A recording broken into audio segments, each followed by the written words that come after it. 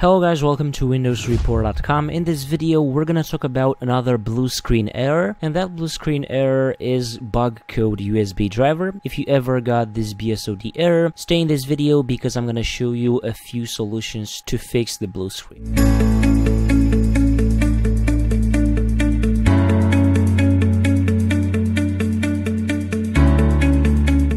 Firstly, you have to make sure that you have all your drivers updated.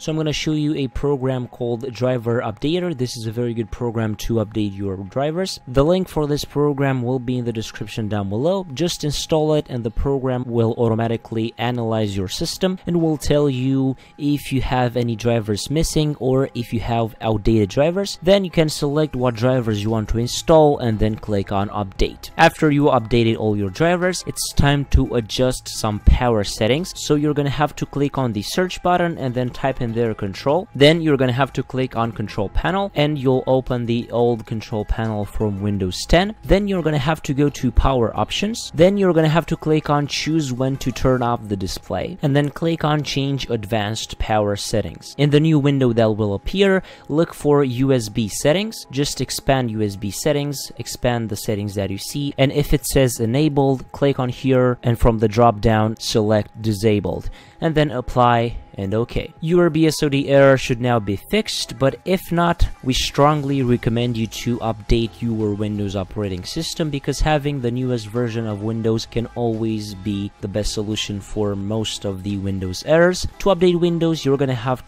to click on the start menu and then click on this icon to go to settings. Here you're to have to go down to update and security and then here in the Windows Update tab you're gonna see that Windows will automatically check for updates and will install them when you're ready. So I'm hoping after watching this video you managed to solve the bug code USB driver blue screen error and now you can use Windows 10 without any problems. So this was the video guys, don't forget to leave a like if you enjoyed it and subscribe to the channel with the notification bell activated so you won't miss any future uploads. Also don't forget to leave a comment down below with problems that you have on your Windows operating system and we can try to solve your issue in the next video. Until next time, have a nice day.